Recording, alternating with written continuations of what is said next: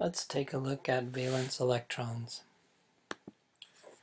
Valence electrons are the electrons most involved in the bonding processes between atoms. They are found in the s and p orbitals of the highest energy level, or the highest number for the periodic table row. If we do the electron configuration for chlorine 1s2, 2s2, 2p6, 3s2, 3p5, we look at the highest energy level, which would be the third energy level, and we look at the s and p orbitals, and we see that chlorine has seven valence electrons. For magnesium, we have 1s2, 2s2, 2p6, 3s2. Again, it's the third energy level, s orbital, two electrons, giving magnesium two valence electrons.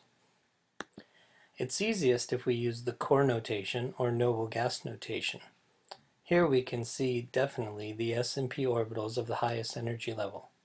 So for phosphorus we use the noble gas neon, followed by 3s2, 3p3. The s2 and the p3 gives us 5 valence electrons.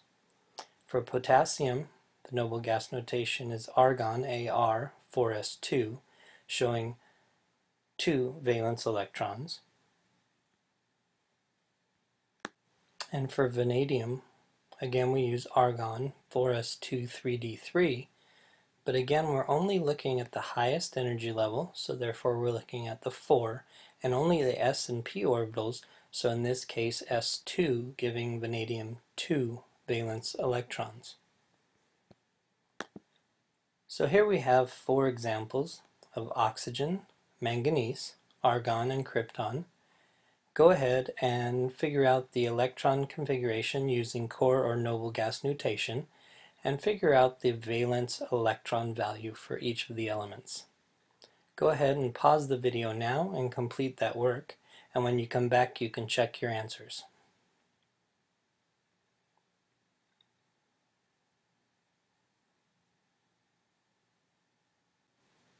So let's see how you did.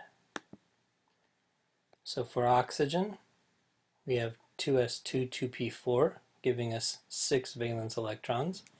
For manganese, we have 4s2, 3d5, giving us 2 valence electrons, remi remembering that the d is not a valence electron orbital.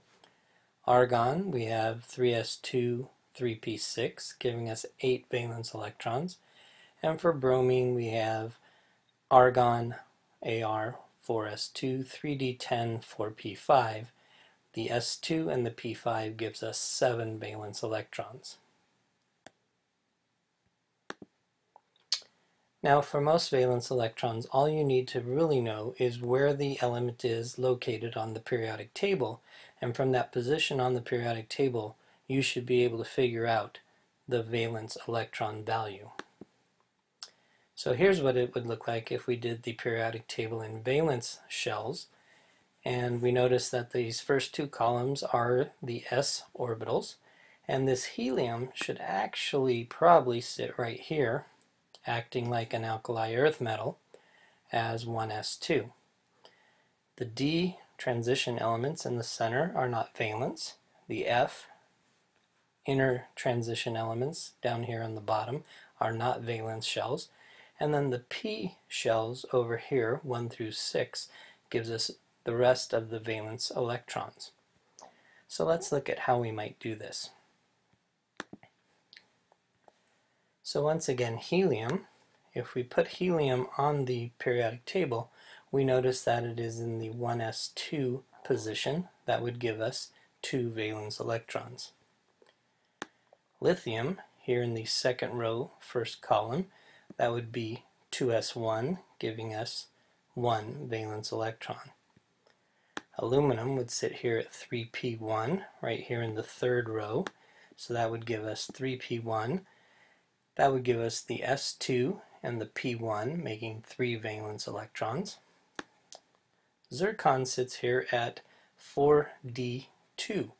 Now we remind ourselves that at 4d2 the d is not a valence shell, so therefore we go back to the 5s2 and zircon would have two valence electrons. Antimony sits here at 5p3 5p3 would give us the 5s2, 4d10, 5p3, and therefore it'd be s2p3 giving us 5 valence electrons. Krypton sits here at 4p6. 4p6 gives us the s2 and the p6 or 8 valence electrons. And francium sits over here at 7s1 giving us one valence electron.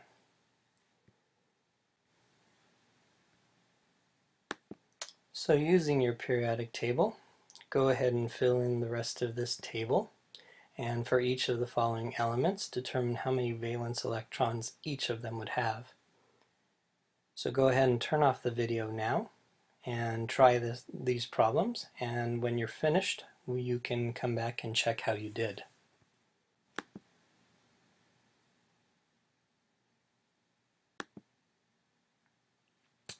So let's go ahead and see how you did.